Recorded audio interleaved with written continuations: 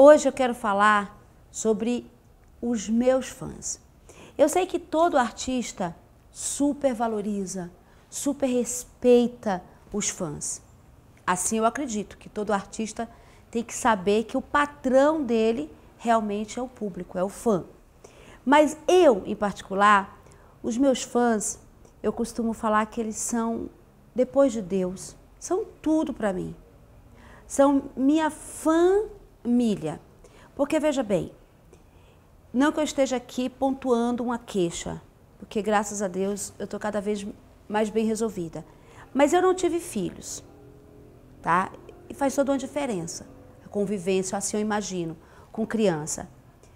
É, não é o caso hoje falar sobre frustração de não ter tido filhos, mas os meus fãs, eles viram meio meus filhos. Eu não tenho convivência com irmãos. Eu tive irmãos, mas aí é uma outra história. Eu não praticamente nem conheci os meus irmãos. Os meus fãs, eles viram meus irmãos.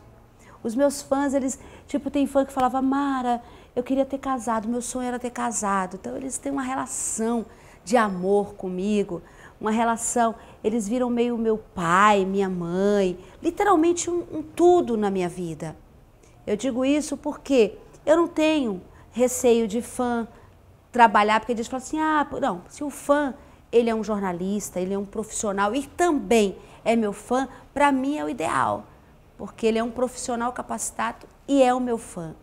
Então eu tenho histórias de fãs que hoje são casados, têm família, têm filhos e continuam. Quer ver? Eu vou dar o exemplo do Cassiano. O Cassiano, é, que é lá do norte, é, outros fãs. Poxa vida, em Pernambuco, em Sergipe, quando eu chego, o aeroporto sempre está lotado. Eu fico tão. É como se eu estivesse revendo um tio, uma tia. E eles estão sempre, eles acompanham, eles mostram a foto. Olha aqui, quando eu tinha, vai, oito anos. Olha aqui, quando você.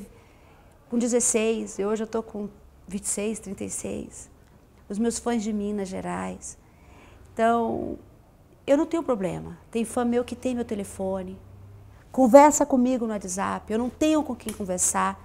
E naquela hora eu falo, não, a melhor pessoa que eu quero conversar é esse. Porque infelizmente tem alguns artistas que falam, não, o fã é até a página tal. Para mim o fã é até a minha última página. Entendeu? No dia que, que de repente não tiver mais fã, eu não sei o que vai ser da minha vida. Então eu quero falar para você que já é meu fã, dessa importância que você tem para mim na minha carreira e na minha vida. E para você que não me conhece ainda e de repente vai me conhecer, eu tenho uma fã que é a Ruth, a Rutinha. Eu falo para Rutinha, não se irrite, não se irrite, Rutinha. Ela é muito novinha, ela deve ter menos de 20 anos. Ela fala que ela me conheceu, não na época dos programas de televisão, ela me conheceu depois que eu me converti, na minha fase gospel. E ela sabe todos os meus louvores, todos os meus hinos. E, e, é como se eu fosse uma mãe. Ela não que ela não tenha mãe, mas é, eu falo, você é como se fosse uma filha. Então eu, eu, tenho essa relação. E essa é a minha vida, essa é a minha história com meus fãs. Entendeu? Eu acho que é legal, tem, tem artistas que têm filho, que têm irmão, que ótimo, que maravilha. Família é tudo. Mas os meus fãs, eles são assim, a luz. Depois de Jesus, são os meus fãs. Ai, eu amo tanto vocês. Eu não consigo imaginar a minha vida sem vocês. Então, ó, olha aqui, mande o seu e-mail, que você quer saber da minha carreira, o que você quer saber da minha perspectiva, do que eu estou planejando, qualquer que seja a sua curiosidade. Manda um e-mail para mim, compartilhe, se inscreva no nosso canal. Sempre juntos. Amo!